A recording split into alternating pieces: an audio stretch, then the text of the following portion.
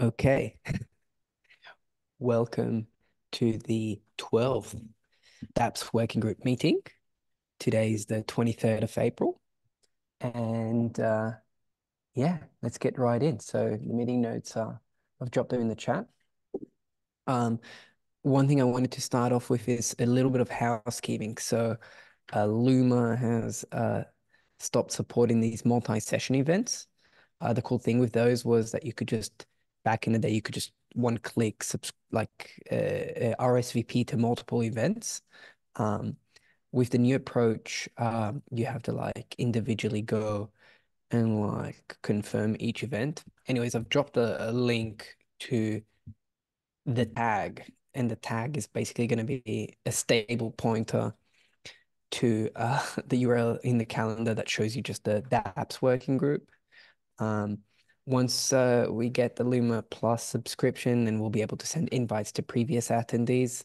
Um, it is what it is. Anyways, the URL is there. Um, you can also, the, the simpler method is uh, you can subscribe to the ICS um, in your calendar, and then you'll just get all of the Luma calendar events um, from the community calendar.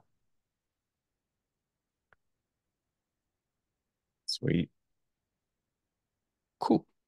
With that, I thought, I don't know, maybe we can do like some status updates, uh, if there's anything that we want to discuss in particular, um, and, and start off with like the foundation on top of which we build everything. So that is uh, Helia.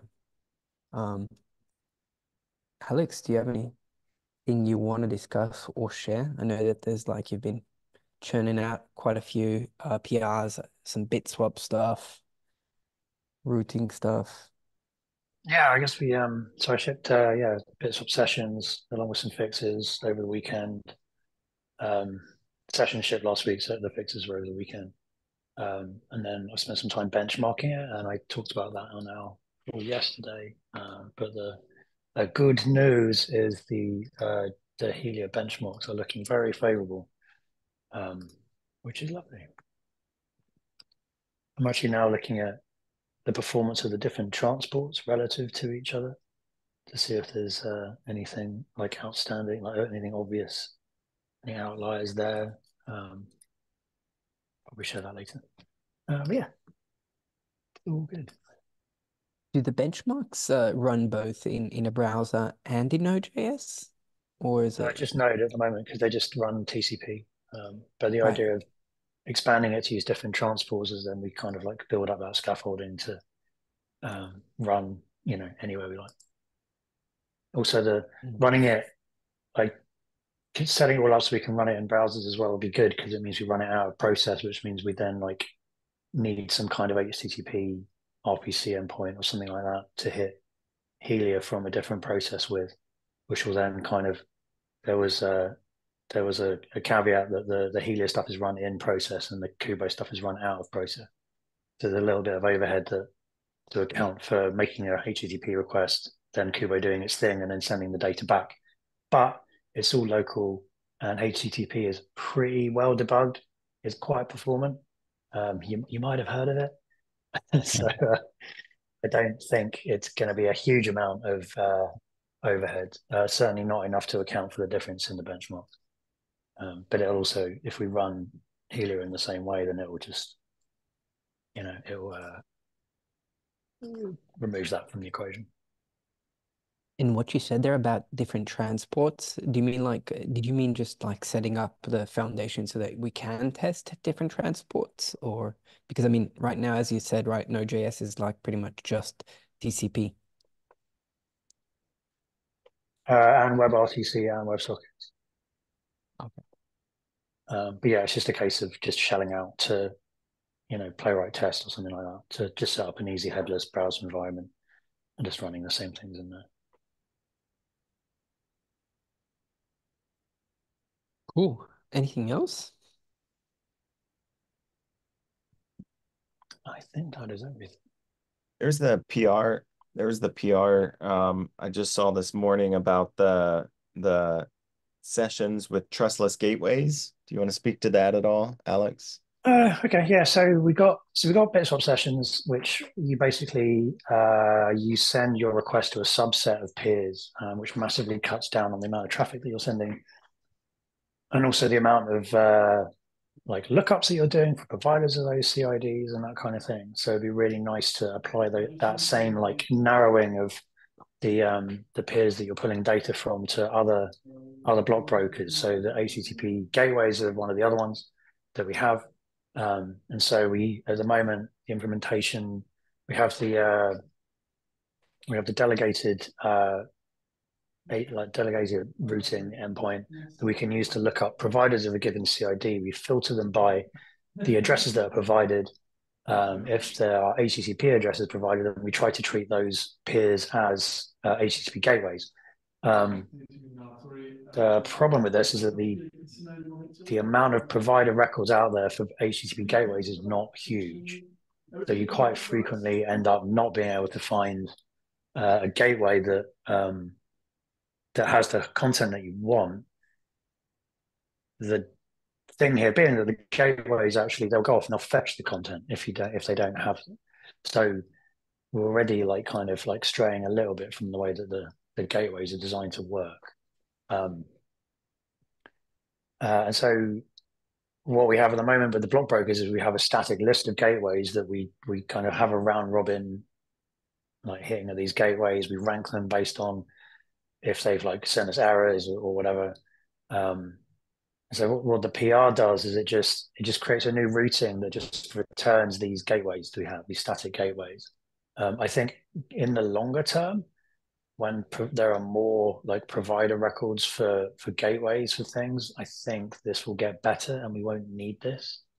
But certainly in the interim, just getting the like the routing to behave a little bit like the the pre-configured list of gateways uh, means that we can keep the internal code paths simple because everything uses the same code path. Um, but then it also means that we don't we don't have to like do something like you know one one one thing we talked about was like maybe having a timeout and saying if you can't find the uh, you know the content via the routing via HTTP gateway via the routing within this timeout, then we fall back to this default list. But the problem with that is it's going to take ages because we're like we've got quite a lot of uh, a lot of the content that we're trying to fetch is if it's not available on these these if if the provider records for the HTTP gateways aren't available via the delegated routing API, then we're going to start hitting this timeout load. And so timeout's like five seconds, like that's a five second delay before your content starts becoming available. Which like if that was a website, forget it, like game over. Um, so instead, we can just like have this fallback of these routers that we know will fetch the content. We'll know will probably fetch the content for us, um, and then we can just we can just keep everything nice and the same internally. Cool.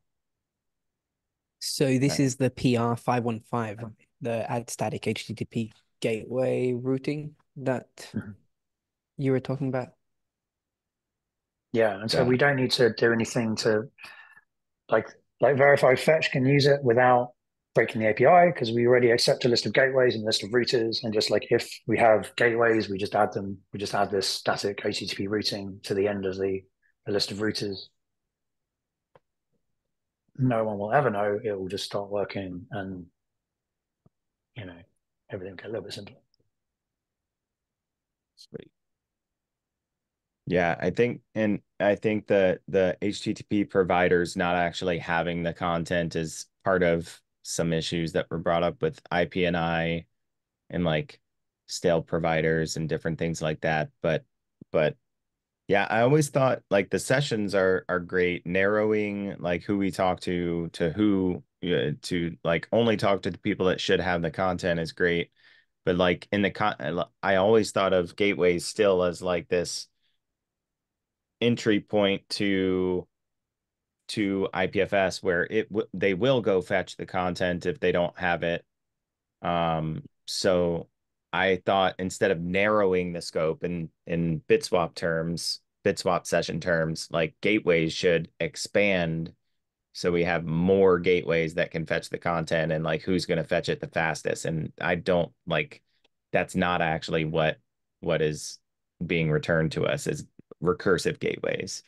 So we can't we can't guarantee that. I mean, the thing is that the, the static gateway could actually also query the routing itself. Right. And it could look for other gateways and then it could add to its list over time and that kind of thing. So like on the Helia side, or you mean the gateway on the server side? I mean the Helia side. You could be Okay. trying to find new gateways whenever people do like routing queries. Like the whole the whole idea of this is just to not have these hard coded lists of gateways because Right. you know it's incredibly tedious when things get blocked and we have to do releases and you know it would be like it would be a lot nicer if the thing could just discover gateways and start using them it also like it makes the the p2p people a lot happier as well if they don't see hard coded lists of things Yeah. So actually, in your vision, where would these where would these come? Because I mean, I guess the idea is then to convert the currently hard coded ones into more of like a runtime thing that you can fetch, right? But like, where Yeah, would we so- fetch that canonical list? Um, well, so at the moment we just have this one hard-coded routing endpoint. But I mean, there's no reason why we couldn't have like you have to fundamentally you have to bootstrap to the network somehow. Yeah, Right. You right. have like libp2p has a list of bootstrap nodes that then uses to find other peers that it then connects to. And suddenly you can disconnect from the bootstrappers. And you know, next time you start, you could reuse the ones that you've been connected to previously, assuming they're still around. So you have to bootstrap to the network somehow. Like at the moment, we have this, you know, we have like the delegated IPFS link or whatever. Um, but it would be really nice if other people would stand up some of these things. Like they're, they're notable because they're not returning us content; they're just returning us metadata. So they should, in theory, be pretty lightweight to stand up. Um, and you know, less likely Yeah, to get it- blocked by people. That's a good call out. Like, how do we make it? How do we announce to people, you know, this easy thing they can just run as a sidecar or whatever? Yeah. Dietrich just But asked that. specifically in this case, i- there's a distinction, right, between the recursive and the non-recursive. The ones that were hard coded are recursive. Like, do we have any thoughts about like, does this require any spec changes? Because the delegated routing endpoint still expects you to pass a CID. Um, so like, have you thought about uh, how you would get this? Because if, if it is a runtime thing where you just make a call to the like to the um delegated routing endpoint, is this like a new path in the delegated routing endpoint or to discover more uh, gateway. yeah, I mean, like, so uh, it, we can end up doing it the same way that we discover uh, circuit relay servers. So there's a there's a magic CID that everyone knows ahead of time that you publish a provider record for, and once you find providers of those of that particular CID, then you have found circuit relay servers because they're you know they're running the circuit relay service. That's where they publish the CID. So if you had a similar CID saying, "Hey, I am a recursive HTTP gateway," you could look up that CID, and then you get a whole list of of of, uh, of gateways back. That would be awesome.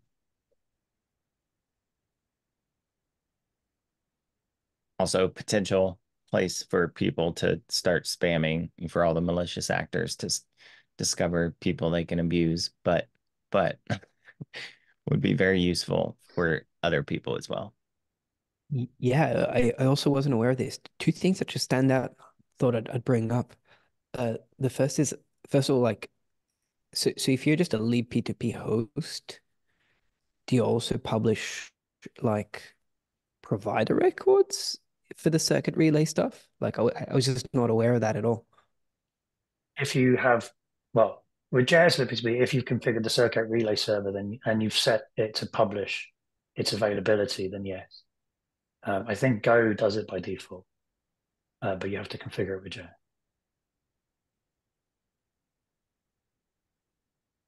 And I, I guess that means that if you're doing any kind of circuit relay, then you need to like have also the the Kademlia like DHT module in your like libp2p implementation. Well, you need you need some content providing routing system. So okay. the delegated HTTP endpoint is one, Kademlia is another one. You need one. Right, right. As it's abstracted now also in like Helia with the routing interface, right? Mm -hmm. Yeah, okay. I guess the second thing is, uh, and this is a bit of an open question for you, um, uh. Remember how we were debugging some problems with the delegated routing endpoint and how someguy, because it's not like doing, I, I can't remember the, the fine details of it, but the problem that we were seeing was that uh, we weren't getting some of the multi-addrs and that is because of how like peer routing uh, and like peer discovery is a bit of an implicit process in um in Kubo. Do you have any update to share there about at least what's the state of the problem and if that has any sort of downstream implications for us as we consume it? Yeah, so there's like um there are two legs to that story. Uh, and maybe like I start with a link uh, if you could add it to uh, to notes. Um, right now, the way someguy works, it's uh, it's it, it it does not do any extra work on top of uh, what regular Kubo node did routing wise, um, and it actually like does less, in a sense. So in um, if you have a Kubo-based, uh, let's say gateway or a node, and you want to retrieve a content, you do the routing first. You find uh, that this peer ID has uh, that uh, uh, is a provider for that content, and then you want to retrieve that content. So you actively find that peer's multi-addr and you connect to it. You learn about the protocols it supports. It's usually Bitswap and you retrieve.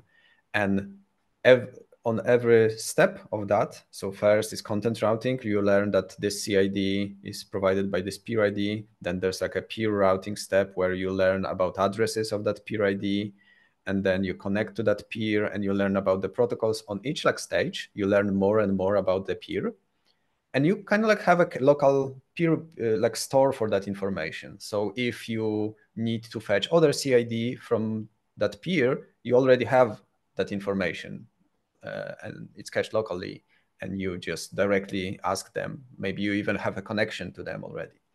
When it comes to like someguy, which is a standalone routing service, it just kind of like stops at the first step. So who has this CID? And it asks IPNI and DHT and it gets information back. Um, and that's it. So if it, it may know multi-addrs, if it was like return from IPNI at cid.contact, or if it learn about the actual addresses before by maybe someone asks for uh, like did peer lookup for that peer ID before, and we learn the multi-addrs and we'll cache them. So then we will start returning them with uh, the, the content routing endpoint responses. Uh, but someguy does not do any like proactive um, like checks. It does not learn more about peers. It just gives you the bare minimum it has as fast as possible, especially in a streaming responses. So the issue I linked is kind of like about like adding more active probing to someguy, make it more useful. Uh, because you, you mentioned that, oh, we return a lot of peer IDs without any addresses. So that's for two reasons. One is it may be just we'll see this peer ID for the first time.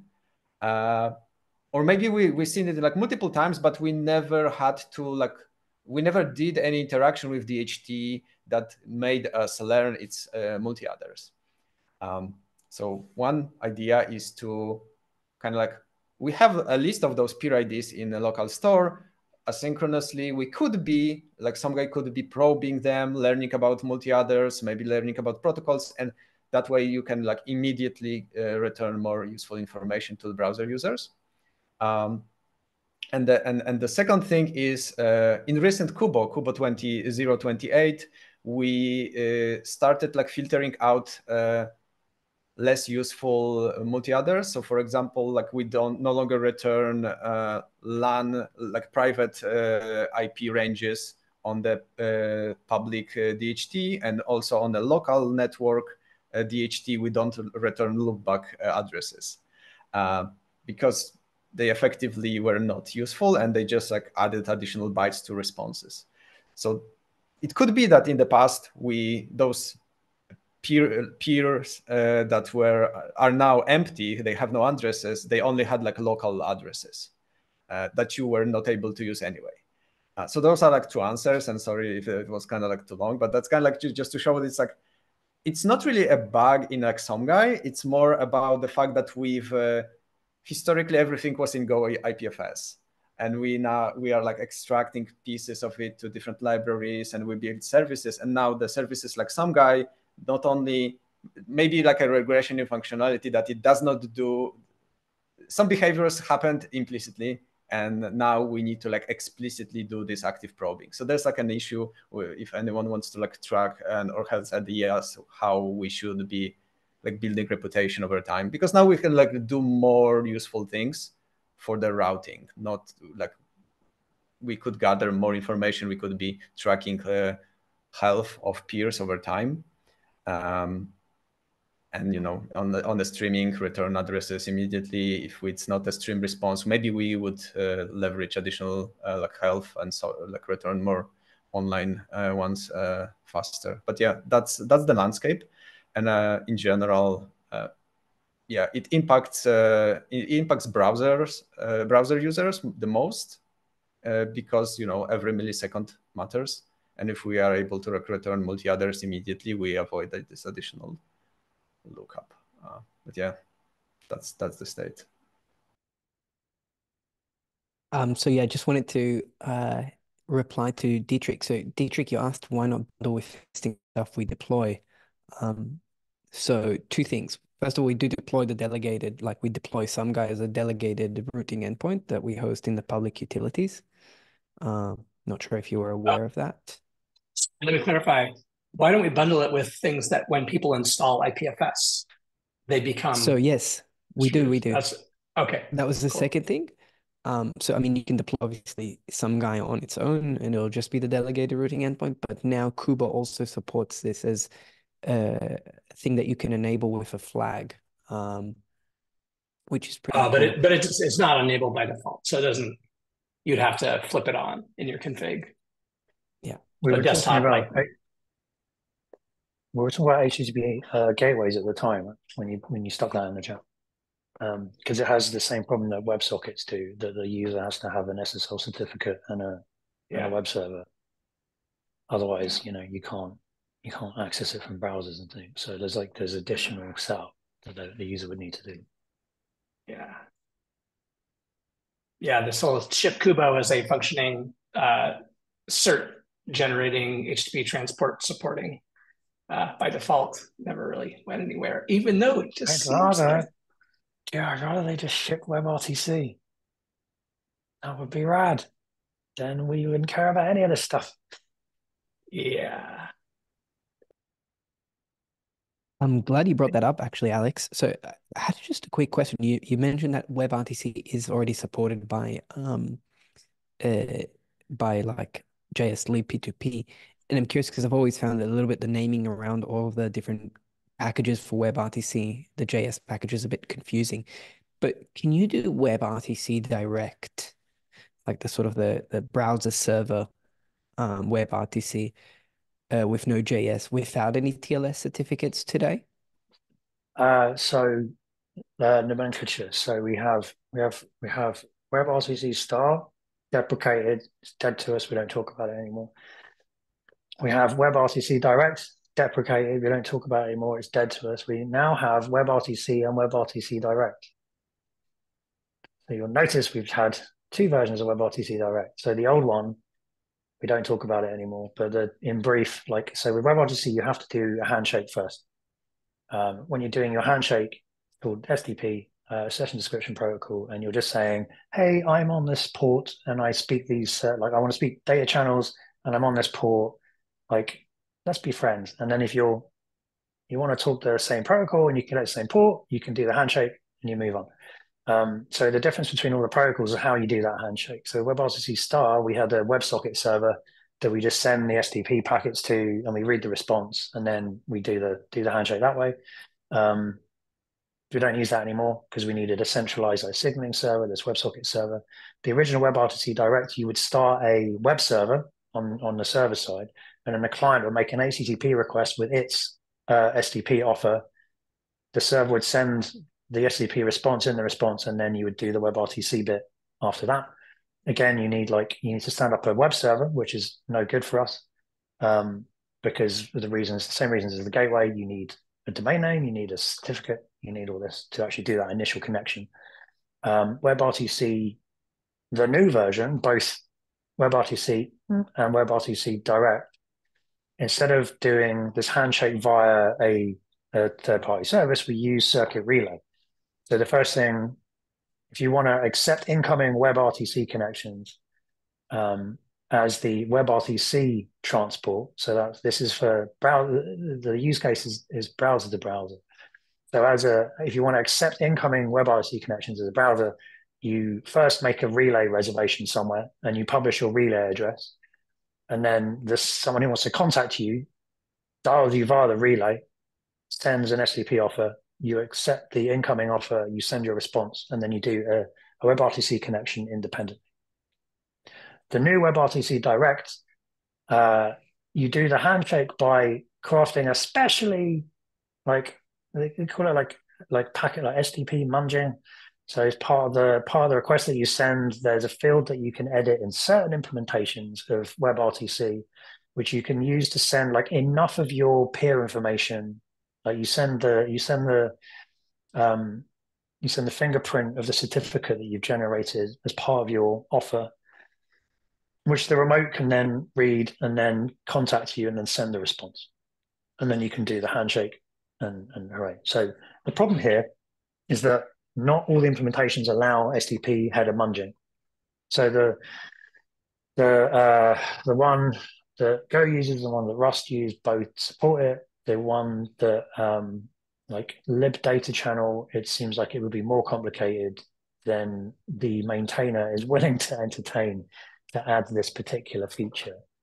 Um, so no, you can't do WebRTC direct in you cannot you cannot listen on WebRTC Direct in Node. You can, in theory, you should be able to dial it um, because it's part of the uh, part of the the API, the documented API that we're using to do the munging.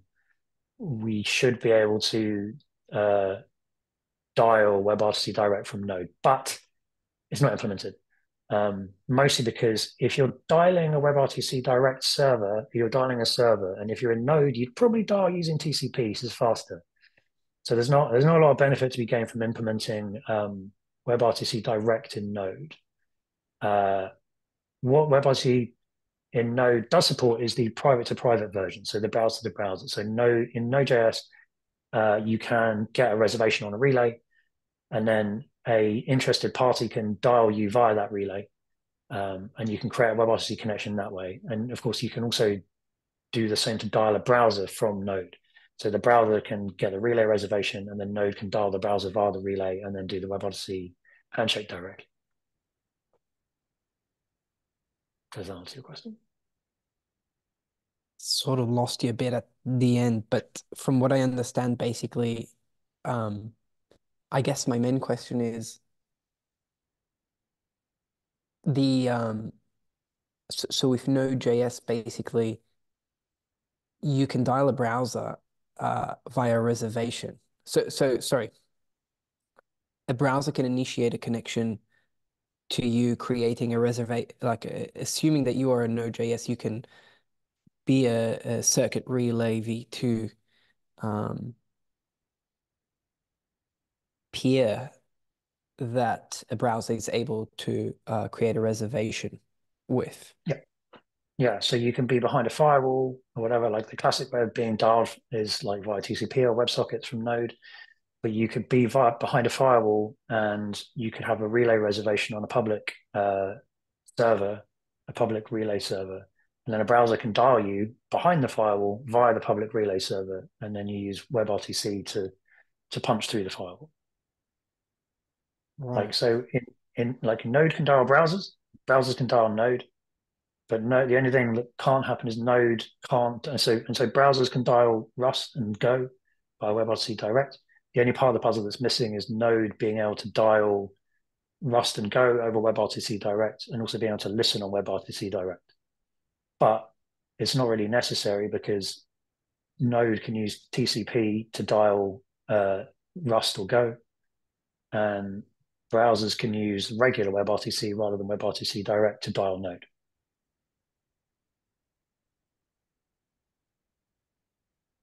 Oh, okay. So That- that's a bit of WebRTC a lets you- surprise. Yeah. I, I guess it's a bit of a surprise that you don't need web the new WebRTC Direct for a browser to call Node. So no, so there's so the the new versions of the WebRTC, there's WebRTC Direct and then private to private. So the private to private is the browser to browser version that needs a relay. So if you dial, so the like so Node.js can also listen on a relay as a as a private to private node, like using the private to private version of the WebRTC trans. So it uses the same Hmm. mechanism uh, mechanism as the browser.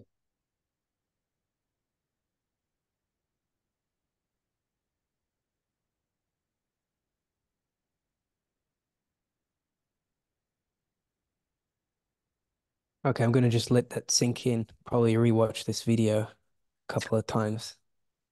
Let it settle. on, on half speed. The problem is all the words are the same. And We have, I don't know. Should I, should I go through it again? Say again? Should I go through it again? So we have WebRTC Direct.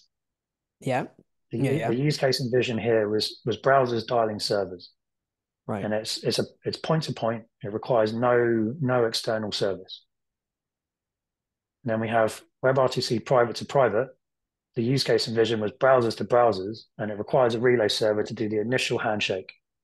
After the handshake's done, the browsers have a direct WebRTC connection between them. Like you can shut down the relay after the connection has been established, and then the browsers are, are happy talking to each other. So Node has implemented private to private. Go has implemented WebRTC Direct. So has Rust. And WebRTC private to private is coming in Go, but not in Rust. Or at least I don't think Okay. anyone's working.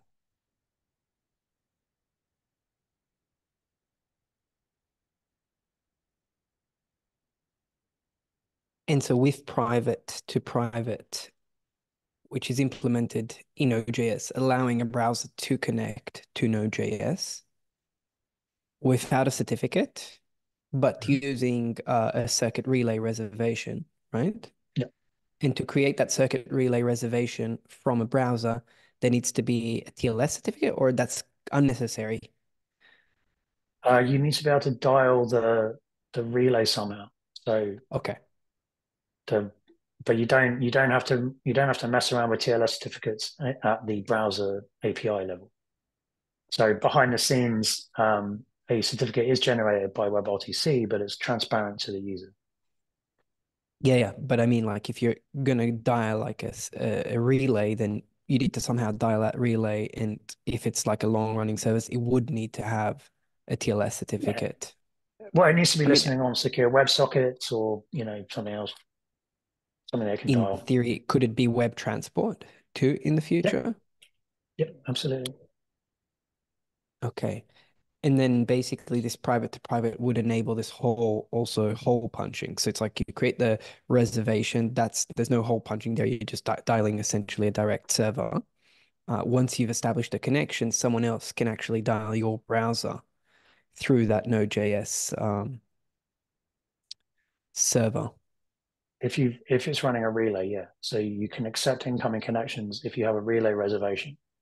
And then you so then you end up with a multi-addr that contains the relay information. And then all the connections go via the relay. And then if it's a WebRTC connection, after you've got the connection open via the relay, it negotiates a, a direct WebRTC connection between the two peers. And then it does also the the hole punching through that relay. Like the relay uh, is is is that coordinating the DCUtR NAT hole punching process? Uh, no, so it just uses WebRTC's built-in hole punching. Okay, which relies on these, is it turn servers or ice? Yeah, or stun and stun and turn. stun? Stun. Okay. And these are configurable. Like these are actual, like there's a lot of Mhm. public ones that are given for free. Yep. Yeah. Do you know if anyone who's already leveraging this in like the JS stack? Because it seems like it's really useful, and I think it was already like It's getting pretty far with. This is the This is the this is the peer-to-peer bit. This is the bit we've been working at for years. This is the one where RTC is going to make it happen finally. Yeah, but I mean, Um, like if you look even at the universal connectivity app, like it's sort of almost leveraging it. I mean, it has the trouble of like discovering the multi-addrs because like we don't have a an out-of-the-box building block for that. But it's like almost there. And like I had trouble with like the last 10%, quite significant trouble of like just wrapping my head around like what's going on. And it works well enough if you have like a, a an sorry, a Rust and um like a Go peer because they will just relay the pub sub messages. So you don't really care too much about establishing those direct connections. But they're obviously necessary if you want to start really moving bytes around rather than just pub sub messages.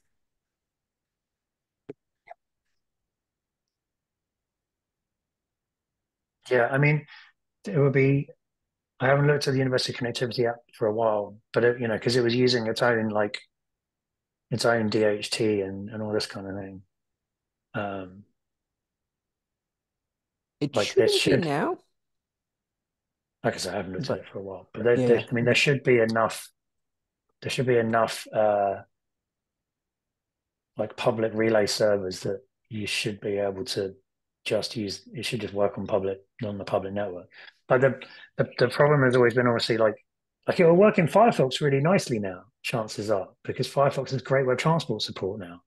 Because like what what normally happens is you so you dial the relays, and then because you because the browser has you know it has WebSockets and it has WebRTC. Like if you're in Chrome, like web transport still doesn't work properly. So you dial the relay over over WebSockets. You do like a query. You get a bunch of addresses back, and then you can't dial anyone, and then sad face. Like if you're lucky, you'll dial the relay. You'll dial the sorry, you'll dial the bootstrappers, and the bootstrappers will run relay nodes. If you're really lucky, you'll dial the bootstrappers, and you'll get a relay slot on one of the bootstrappers that you've just dialed, and then you're dialable because then you can suddenly you have a, a relay address with a WebRTC bit on the end, and then you can you can tell your friend that, and then they can dial you via the relay. Um, what what is what will be what is better is in Firefox, you'll do that initial like peer lookup. It's also worth noting that you could do this peer lookup via the delegated uh, routing API, like the delegated routing HTTP API server as well. You don't need to connect to the bootstrappers, but you'll you, you you'll have the same problem for the most part, and that you'll you know you'll dial it and then you won't you won't be able to dial any of the peers. But now in Firefox, by now hopefully the WebRTC support in the network has grown enough that you've got a reasonably decent chance of doing that that lookup for that magic CID uh, via via the delegated HTTP routing API, finding a peer with a web transport address, which you can then dial, get a reservation, and then bang, you have a you have a circuit relay address that people can dial you via WebRTC. That's the magic. In this case, the Magic CID uh, identifies which nodes, nodes that have web transport and the circuit relay Uh, relay circuit relay so so if you're a circuit relay server you will publish a provider record yeah. saying i can provide the content for this cid um, and that will get that will go like through the network. Like you will look up the 20 closest peers but you'll you know you'll that's fine. They will get the provider record. But then as you're as someone is looking for that cid you will you will query these these different peers and they will say oh, oh well, i can provide this cid because they're also they're a relay server. So they're like here you go i'm a provider. Here's the provider record. And you're like great you're a relay server. I'm going to try and dial you and, and try and get a relay reservation. So like so the people looking up the relays their query chances are will never make it to like all the way to the end um, because they will find peers along the way that, that are providers of the cid What is that CID? Is that like documented? One, Is that like in the circuit? three, four. I, don't know. I think it's in. I don't know off the top of my head. It's in. It's. uh Uh, it's in the spec. It's definitely it should be. If it's not in the spec, it should be in the spec. It's in. The, I'm gonna say it's in the spec.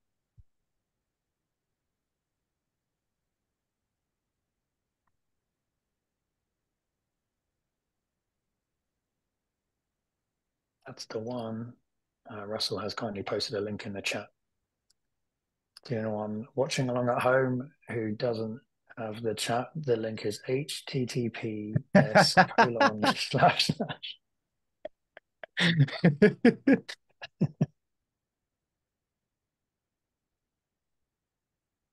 All right, cool.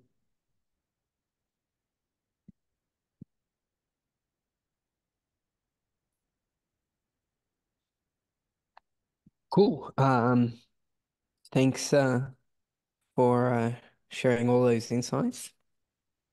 Maybe hopefully, like in the near future, we can spend a bit more time, especially as like the whole topic of like direct peer-to-peer retrievals becomes a bit more salient. I Um, feel an IPFS camp talk brewing on this. cool. Um, verified fetch. Any updates there? Besides, we had the blog post. It's out. We're gonna do a deep dive at the intros gathering. Uh, uh, the Dash incubator. Also, they want me to come on, uh, talk a little bit about IPFS and stuff and uh, retrieval. I was like, hold off. we've gotta get this release and all of the materials around it, and then uh, I'd be happy to go on. So that that's maybe gonna be next Monday.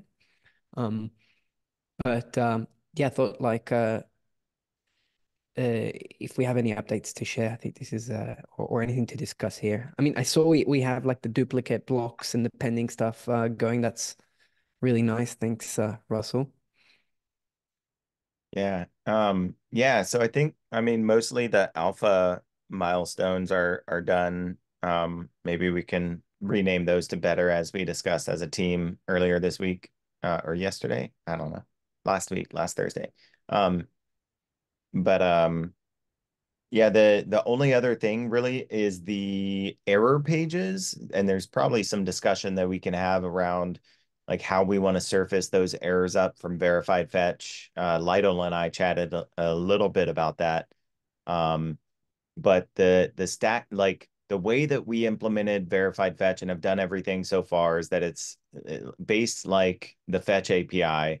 And so the fetch API, you know, it almost always returns a response unless there's some error and it throws um, in the construction of the response or the URL used for the request, et cetera.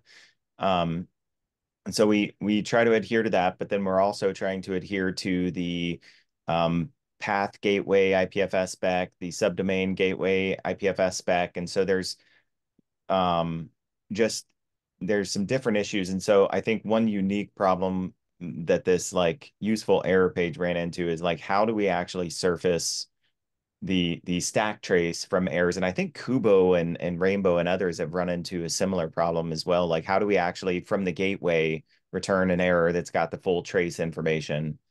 Um and i don't think that's well defined yet. Like i don't think there's a spec around it and i think that would be useful even even if we maybe don't have the bandwidth to fully nail that down now.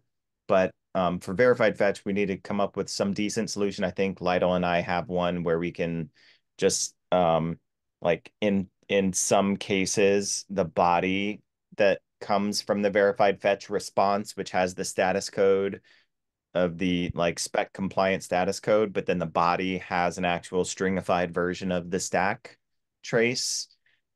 Um, yeah, that's gonna probably be the solution we go to there, but that's the last thing remaining for verified fetch um, alpha, besides the infinite uh, redirect bug, which I, I finally have like an IPFS hosted, like locally running server, um, which is working, and I've got an end-to-end test failing for the infinite loop bug. So um, should be able to get that solved. And then we can actually test locally against the IPFS hosted deployed version instead of just static website deployed at a, you know, um, the host version or deployed folder, whatever.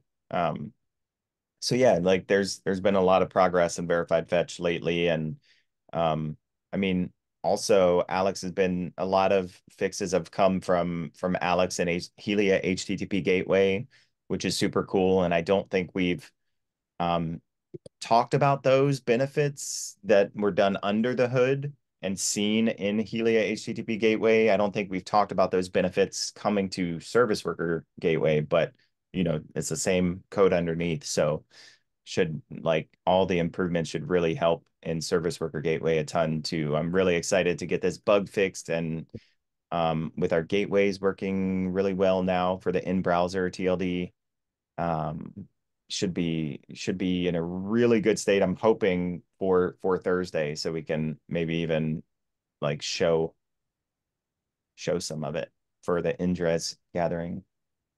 I think it's great to be um, hitting this stuff from multiple angles as well, even though the angles are ever so slightly, only slightly different from each other. But um, using it in different contexts and like dog fooding it probably. Yeah. Is that like verified fetch being both in the service worker gateway and in the HTTP gateway that you're referring to?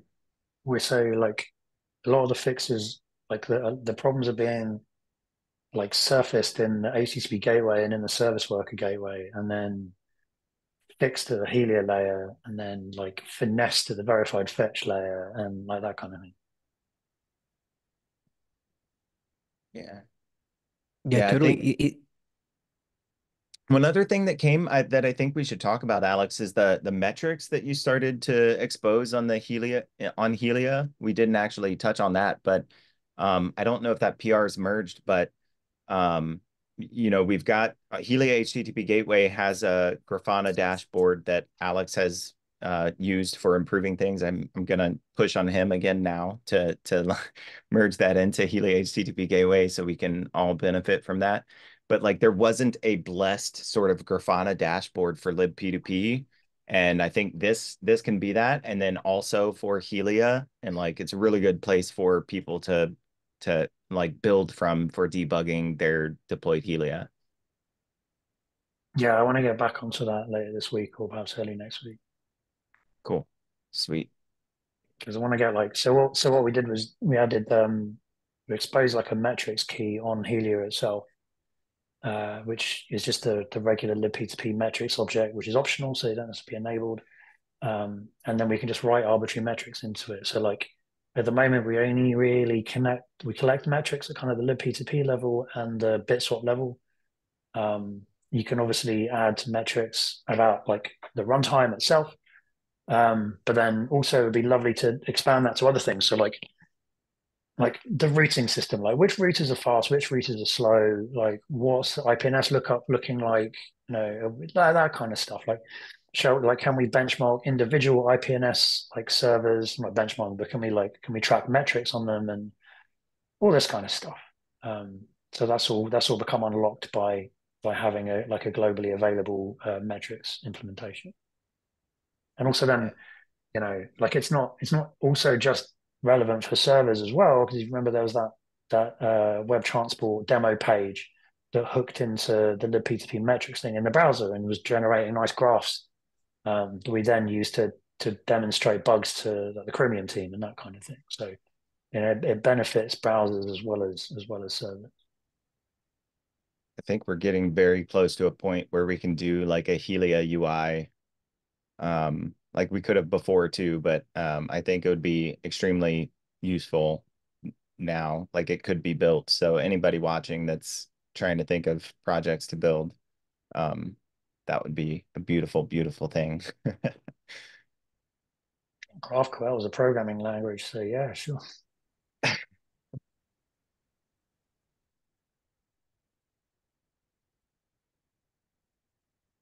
Cool. Um, I thought one last thing to flag is that we uh, have published like and announced that we have this Helia survey, the feedback survey that um I've sort of created uh, with um eh, what's it called? Um uh um Airtable. So it's an Airtable. It, it goes into Airtable and we get notifications for it. So far, we haven't actually been able to get any data, which is, I think, fair. But uh, I think we'll we'll try to make uh, um, it visible through either the repo and like uh, just try to you know get people who are like exploring it to engage with us so that we can get some of that feedback um that's uh it from my side um there's nothing else i think we can wrap up um um maybe more for offline but um i did see two notifications for the survey did um, I think two separate ones. Did those not save or were they just not as about not quite the information we were looking for? Yeah, so actually we got one. The other one was just uh I asked Dame to fill it out. Um oh, okay.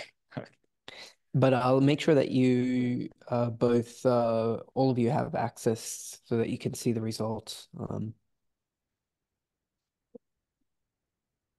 Cool. Thanks, Daniel. Thanks for setting that up too. Yeah, that's going to be, that's, if we can get some feedback on that, that'd be super cool. So definitely we should be announcing that at the Indres gathering too.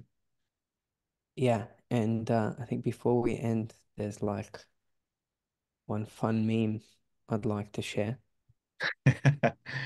which I'm going to be using. Uh, Dietrich is for, uh, excited. Uh,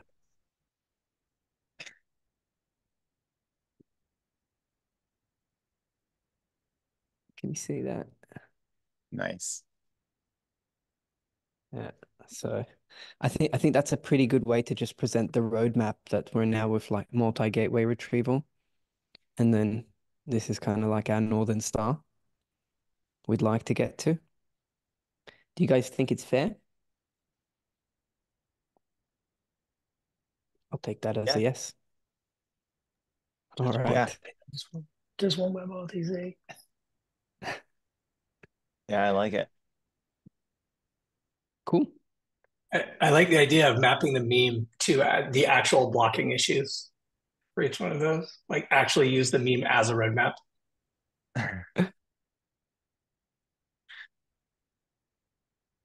yeah. I think um I I'm losing my train of thought. I was gonna say something. I can't remember.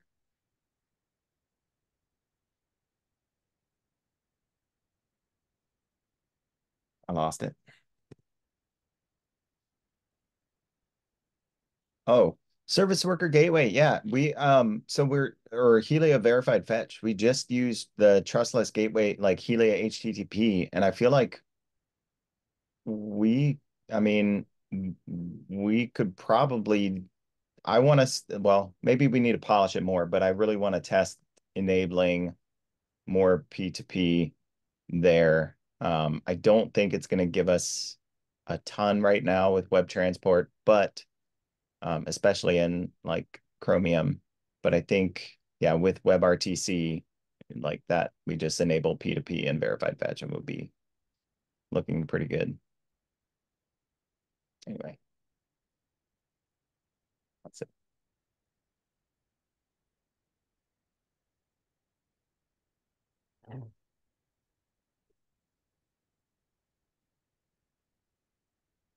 So if I looked at setup in the delegated routing endpoint, I should be able to find loads of different nodes. Oh yeah. Actually, not that many.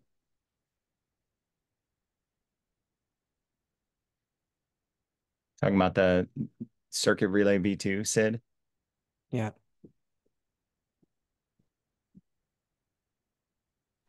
I assume it's the right one because I reverse engineered the JS code and just generated the same CID for the same string. but there are some results, so at least some people made the same mistakes I did. uh, the one with addresses is listening on a circuit relay address. Yeah, but I agree it should be uh, should be part of the spec. I did not see that in in the spec, so.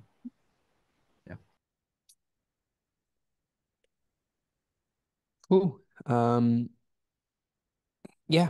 Uh, see you at the next uh, session. As I mentioned, um, like there's a new link for the event because we don't have recurring events, and uh, we still can't invite because we don't have Luma Plus. So, uh, just make sure you like check out the calendar and subscribe to uh, future DAP working group events.